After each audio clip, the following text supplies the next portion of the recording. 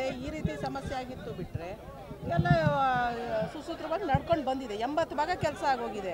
ಈಗ ಅವ್ರು ಬಂದು ಮಾಡೋ ಅಂಥದ್ದು ಏನೂ ಇರಲಿಲ್ಲ. ಜೊತೆಗೆ ಇದು ಐನೂರ ನಲ್ವತ್ತು ಕೋಟಿ ಇದು ಸತ್ತೆಗಾಲದಿಂದ ನೀರು ಪಂಪ್ ಮಾಡೋ ಅಂಥದ್ದು. ಈಗ್ಲೂರು ಡ್ಯಾಮ್ಗೆ ಮತ್ತು ಇಲ್ಲಿ ಸತ್ತೆಗ, ಇದಕ್ಕೆ ಮಂಚ ಮಂಚೆ, ಮಂಚಿನ ಬೆಲೆ ಇದಕ್ಕೆ ಎಲ್ಲದಕ್ಕೂ ನೀರು ಪಂಪ್ ಮಾಡೋ ಅಂಥದ್ದು. ಇದು ಕುಡಿಯೋ ನೀರಿಗೂ ಬಳಕೆ ಮಾಡ್ಕೋಬೋದು ಜೊತೆಗೆ ರೈತರು ಕೃಷಿಗೂ ಅನುಕೂಲ ಮಾಡ್ಕೋಬೋದು.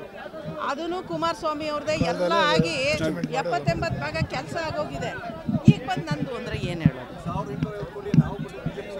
ಅದೇ ನೀವು ನಾನು ಅದಕ್ಕೆ ಕುಮಾರಸ್ವಾಮಿ ಅವರು ಈ ಒಂದು ಪ ಪ್ರೋಗ್ರಾಮಿಗೆ ಬರಬೇಕಿತ್ತು ಅವರು.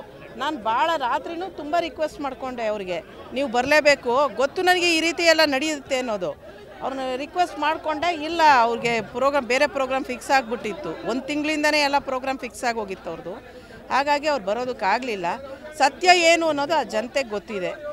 ಅವ್ರು ಮಾಡಿರೋದು ಬೇರೆಯವ್ರು ಮಾಡಿರೋದನ್ನ ನಾವು ಮಾಡಿದ್ವಿ ನಾವು ಮಾಡಿದ್ವಿ ಅಂತ ಹೇಳ್ಕೊಂಡು ತಿರುಗಿದ್ರೆ ಏನು ಹೇಳೋಕ್ಕಾಗುತ್ತೆ ಇಂಥವ್ರಿಗೆ? ಅಲ್ಲ ಗೊ- ಗೊತ್ತಿಲ್ಲ ಯಾವ ಕಾರಣಕ್ಕೋ ಬಟ್ ಜನತೆಗೆ ಗೊತ್ತಿದೆ ಇದು.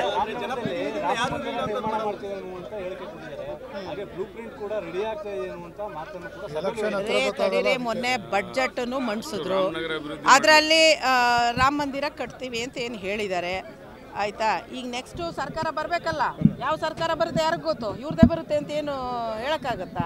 ಅಂದ್ರೆ ಅವ್ರು ಗಂಟಾಘೋಷ ಹೇಳ್ತಿದ್ರೆ ಬಿಜೆಪಿ ಸರ್ಕಾರನೇ ಬರುತ್ತೆ ನಾವೇ ನಿರ್ಮಾಣ ಮಾಡ್ತೀವಿ. ಆಯ್ತು ರೀ ನೋಡೋಣ.